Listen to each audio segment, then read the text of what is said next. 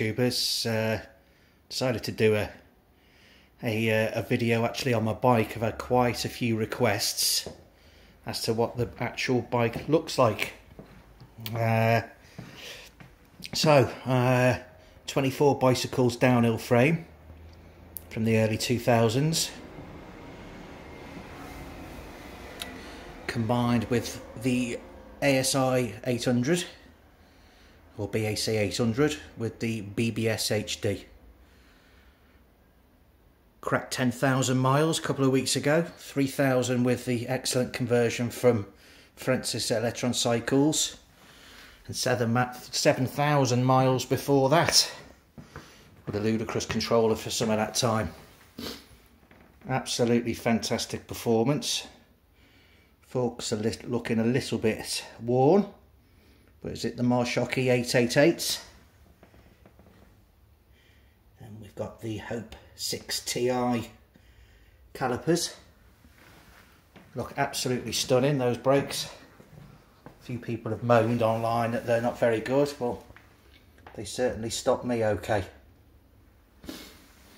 This is probably the cleanest you're going to see. I've just come back from cleaning it.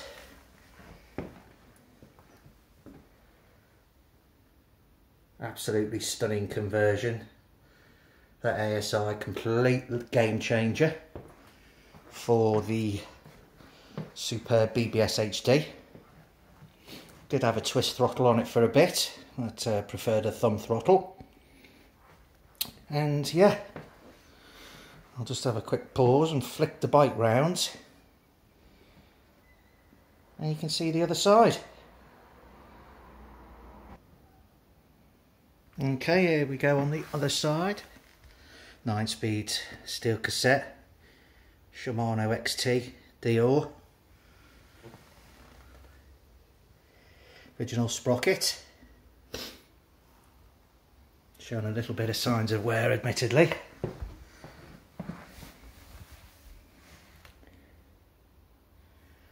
Again, the cleanest you probably see, it was absolutely covered in filth.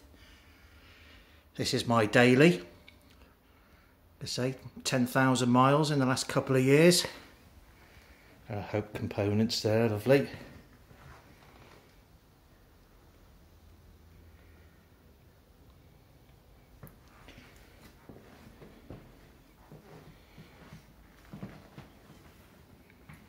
And this, yep, that's it.